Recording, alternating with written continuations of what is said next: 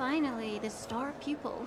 That's a snazzy shirt. What are those buttons? Tesserae? Try this lamb, it's scandalous. Only the vulgar eat with their fingers, Felix. What? Daddy not teach you table manners? Maybe he would have if he wasn't so busy running the country. Hey, they called us here for the Plinth Prize, right? Because I heard Dr. Gaul's in the building. Spawn. Who would have thought that... My class, did you see his mother's outfit?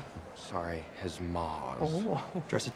Don't do that. We all know you like him. I don't like him, Arachne. I tolerate him. Tolerate him, just don't encourage him. Spill it. Who won the prize? Well, no, I'm not gonna ruin my father's big day. No one here actually likes him, but they do love his money. You know what that's like, don't you, Arachne? Funny. Waiting to hear the results will no longer be determined by who has the best grades, Excuse me? but by Names. What if I get a pathetic runt girl from one of the poor districts, like 8 or 12?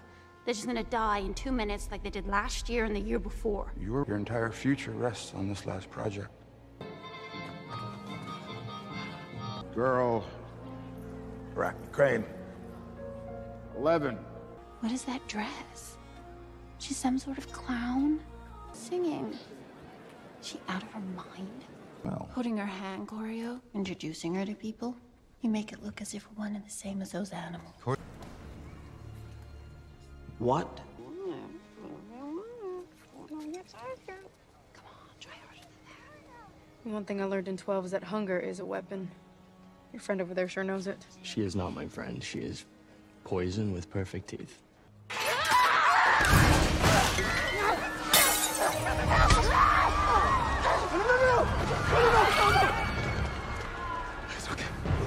Hold on, hold on. Hey, look at me.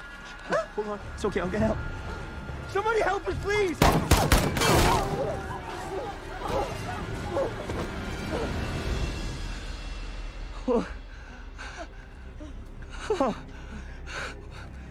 Let's go.